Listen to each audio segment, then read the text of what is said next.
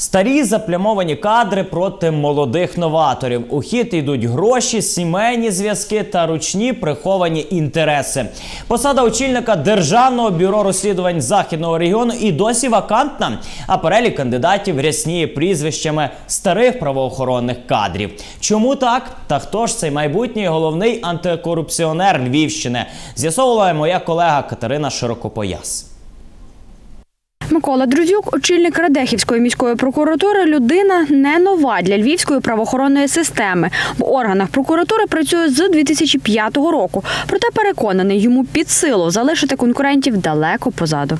В органах прокуратури ви працюєте ну, досить довго, і ви все рівно себе вважаєте новою. Правильно? Без сумніву. Без сумніву. Чому тоді новизна? Е, новизна в баченні, новизна в е, ідеології. Більше про запеклу боротьбу за крісло очільника державного бюро розслідувань Львівщини. Дивіться у новому випуску Правда розслідування одразу після інформаційного випуску о 20.00.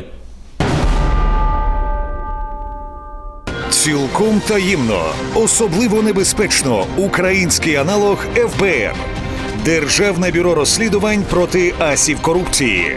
Це буде ну потужний новий, так мовити, правоохоронний монстр, який займе одне з ключових місць у новій правоохоронній і антикорупційній системі. Чому вони і кому таки дістанеться посада очільника львівського ДБР? позиціоную себе як нову людину для цієї структури і вважаю, що я цілком в силах з ними конкурувати. Податківці, прокурори, державні аудитори та навіть безробітні. У правді розслідування ми продовжуємо називати імена тих, хто рветься в бій за крісло головного антикорупціонера Львівщини.